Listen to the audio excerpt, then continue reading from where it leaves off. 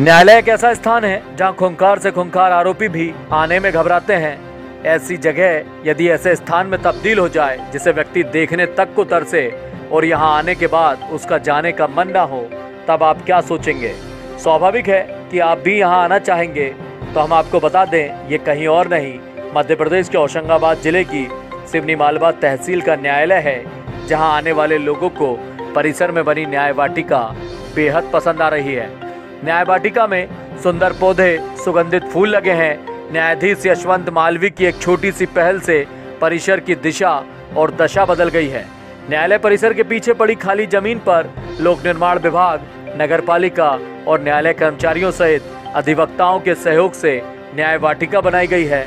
आपको बता दें कि न्यायालय परिसर में नियमों का उल्लंघन करने वालों से न्याय वाटिका में सजा स्वरूप पौधे लगवाए जाते हैं, जिसके चलते अब न्याय वाटिका सुगंधित फूलों से महक रही है। न्याय वाटिका में कमल सरोवर बना है, जिसके आसपास गुलाब की विभिन्न प्रजातियों के पौधे लगाए गए हैं। अधिवक्ताओं ने बताया कि न्यायाधीश यशवंत मालवी को लगभग छह माह पहले न्यायालय परिसर के पास ज़मीन का सही उपयोग करने का विचार मन में आया। पार्किंग भी अव्यवस्थित थी। पेशी पर आने वाले लोग भी यहाँ वहाँ खड़े रहते थे, जिसके चलते न्याय वाटिका सभी के सहयोग से बनाई गई। हमने तय किया कि नियमों का उल्लंघन करने वालों को एक फूलदार पौधा लगा। गमला जुर्माने के तौर पर न्यायालय परिसर में देना होगा। अब न्यायालय परिसर में व्यवस्थित पार्किंग होने के साथ ही जहाँ अन्य नियमों का भी पालन किया जाने लगा है, वहीं परिसर भी हरा भरा होने के साथ फूलों की खुशबू से महकने लगा है। जिला एवं सत्र न्यायाधीश एस के कुलकर्णी ने न्याय वाटिका का शुभारंभ कर परिसर में हुए कायाकल्प की सराहना करते हुए इसे एक सराहनीय कदम बताया है। वहीं अधिवक्ता विकास पाठक ने बताया कि इसमें न्यायाधीश अशोक त्रिपाठी, न्यायाधीश यशवंत मालवी और वकीलों सहित न्यायालयीन कर्मचारियों का विशेष सहयोग रहा है, जिनके प्रयास से ये वाटिका तैयार हो पाई है।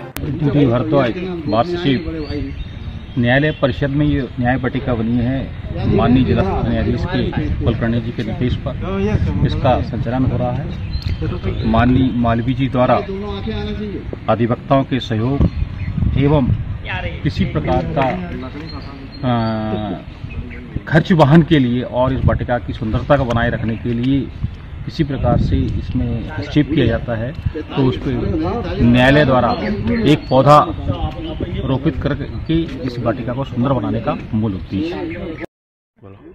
सर क्या विशेषता है इस वाटिका की?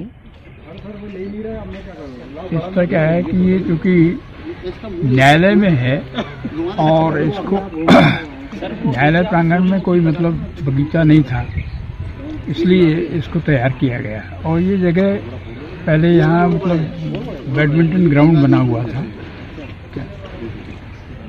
वातावरण किस किस तरीके से इसका मेंटेनेंस किया जा रहा है इसका? मेंटेनेंस सभी अधिवक्तागण हमारा न्यायालयीन कर्मचारीगण हमारे न्यायाधीश महोदय सबके सहयोग से इसका संचालन किया जा रहा है।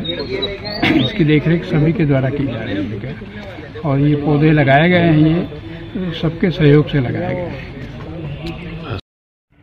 न्याय वाटिका में पौधारोपण के लिए किस तरीके से प्रयास किए जा रहे हैं अभी? न्याय वाटिका में माननीय न्यायाधीश महोदय श्री यशवंत मालवी द्वारा गाड़ियों की पार्किंग की व्यवस्था बनाई गई है।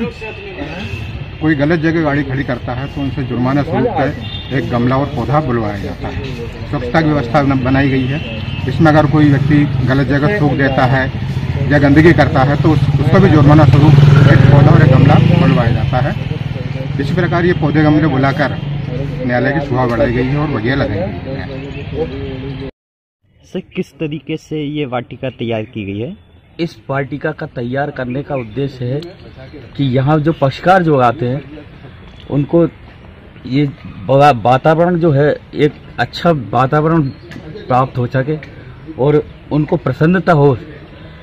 इसलिए इस न्याय वाटिका का निर्माण माननीय हमारे जज साहब महोदय, हमारे बार के अधिवक्तागण, हमारे सहकर्मचारी साथियों द्वारा किया गया है।